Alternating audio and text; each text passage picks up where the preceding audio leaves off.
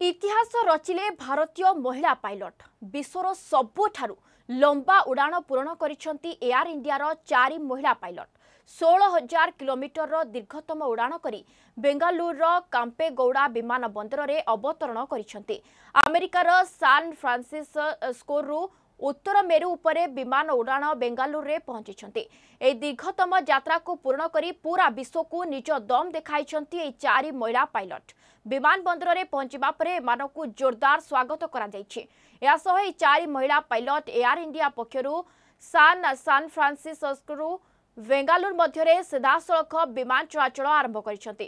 ସୂଚନାଯୋଗ୍ୟ ଯେ କ୍ୟାପ୍ଟେନ୍ ଜୋୟା ଅଗ୍ରୱାଲ ଏହି ଉଡ଼ାଣର ନେତୃତ୍ୱ ନେଇଥିଲେ। ଏହି ଦୀର୍ଘତମ ଯାତ୍ରା ପୂରଣ କରିବା ପାଇଁ ଏମାନଙ୍କୁ ସତର ଘଣ୍ଟା ସମୟ ଲାଗିଥିଲା।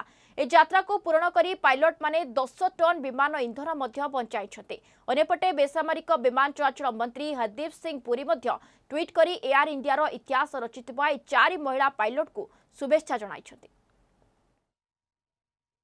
I think I was extremely honored. I felt very lucky to be chosen. I've been on this uh, fleet for a about a year and a half now, and I've been working with the company for only four years. So to get an opportunity like this, I think I was extremely honored, extremely blessed. I fe- felt very, very. from flying from two diametrically points on the globe, which is Bang- San Francisco to Bangalore. If you see the globe, they're on two exact diametrics points.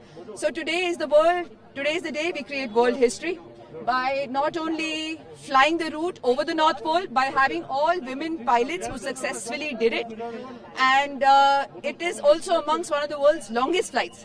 So we are extremely happy and proud to be part of it, and we are extremely thrilled that our government, our airline has instilled this trust in us, and we all did it together as a team.